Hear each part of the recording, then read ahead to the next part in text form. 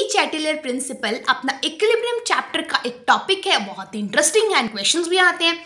सो ली Chatelier principal बोलता है कि अगर इक्विलिब्रियम पर आपने टेम्परेचर को प्रेशर को कंसंट्रेशन या फिर वॉल्यूम को चेंज किया तो रिएक्शन शिफ्ट होगी उस डायरेक्शन के अंदर जहाँ पर उसके अफेक्ट को कम किया जा सके। अब कैसे?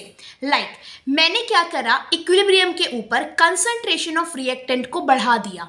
अब रिएक्टेंट कब कम होगा? जब वो प्रोडक्ट के अंदर बदलेगा।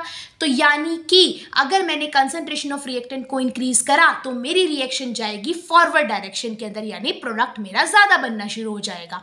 अगर मैंने रिवर्स किया मान लिया मैंने कंसंट्रेशन ऑफ़ प्रोडक्ट को बढ़ा दिया तो प्रोडक्ट ज़्यादा तो रिएक्शन कहाँ जाएगी? बैकवर्ड यानी रिएक्टेंट वाली साइड पर। मतलब प्रोडक्ट की कंसंट्रेशन डायरेक्शन बढ़ाने से रिएक्टेंट जाएगी आपकी बैकवर्ड डायरेक्शन के अंदर।